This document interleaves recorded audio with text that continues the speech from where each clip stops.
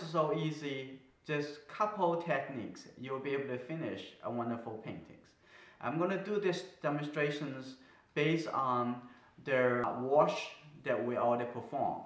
And let's take a look at this area. We already did a, a, a gradient wash and starting from darker blue color and gradually turn into a lighter blue colors by just adding more and more water uh, as going down from the top to the bottom. So the first thing we're going to do, we're going to draw uh, their, the picture. And this is how I'm to draw. This is the land. And this is the area going to be darker. And, and I have the like a, like a river or the road path and coming down this way. And we have want to have a couple trees on this side. Okay so that with the drawing can help us to make up the mind and what we would like to do here. And the tree over here bigger tree and some smaller trees on the side and like that. And we want to also create a moon and this the the pre-washed background it looks like very much like a, a night scene. So we're going to develop uh, based on what we already have done. Okay the first thing we're going to do the first technique is wash. Okay we're going to wash over a dried layer. And the previous wash is already dry.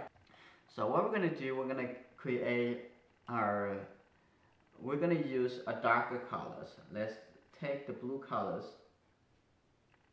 and with the red colors together, the red colors, and make sure with the blue colors. And with less water, and the color would look darker. This makes that, that's also a good color. Okay, so the first thing we're gonna do, we're gonna uh, wash into the area that will be the, for the tree and you can just let it keep going on this side that's just there this called also glazing watercolor glazing on top of the other colors okay and we fill the brush with the colors so it would keep their uh, darker colors in the brush. Okay.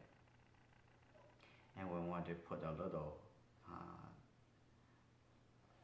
shape on the side, have the tree kind of shape. We might have to actually put a couple more round later.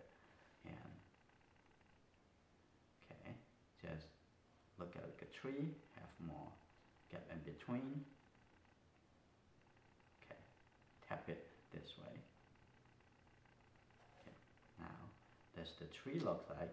A simple just another layer of color, just wash it on the top and it would become a nice shape.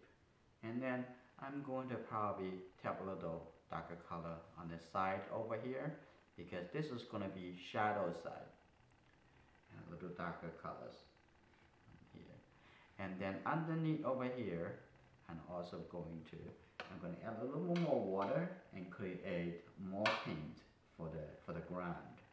So, and dark purple colors, dark blue purple colors, that's what we want to here. And then coming in this side and blend into, into the tree area. And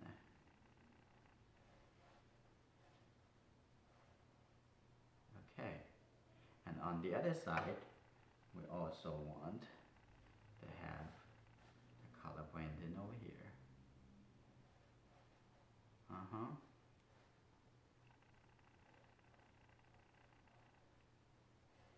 Okay.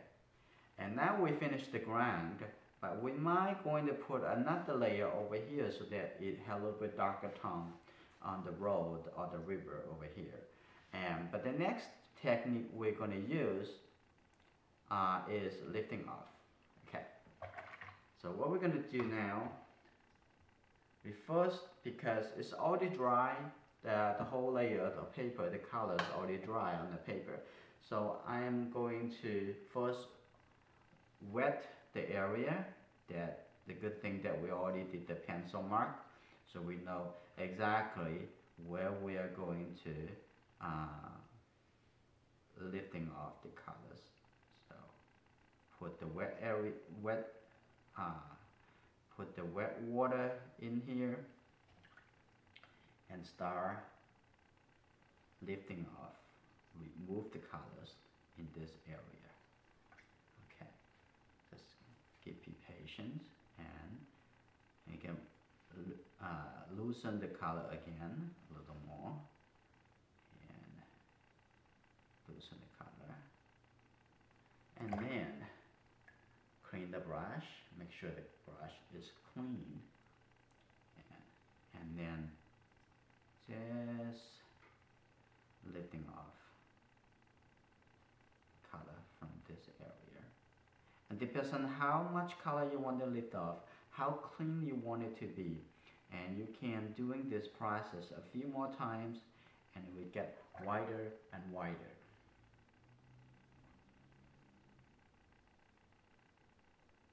Okay. I think it looks very nice already. And let's get get a little bit of even more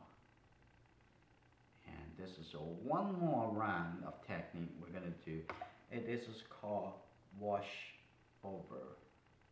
And after we're gonna do another glaze wash. And which is we call wash wet on dry. But we're gonna wait until the whole area dries so that we can wash over with a flat brush. Okay I think the moon is pretty light now and as soon as we wash another round so that it will create a bit bigger value contrast to make the light even pop up more. So let's uh, take a flat brush and I think this is a three quarter inch brush. It's just good enough to do this job. Okay, let's loosen the, the hair of the brush. And what we're gonna do first, we're gonna take the blue colors a little blue color over here. First what we're going to do, we're to actually fill in some of the areas at the bottom over here. Another color is going to come in somehow, but let it, it's fine. We don't want that much value contrast at the bottom over here. So,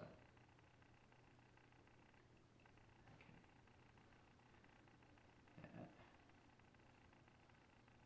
Okay, good. And then the next thing we're going to do, we're going to glaze over around the outside of the moon shape. Okay, we're going to take the little blue colors over here. We don't have to add too much color to it. It's just a little bit more value contrast. It should be fine. Let's see. Let's just add a little blue colors around.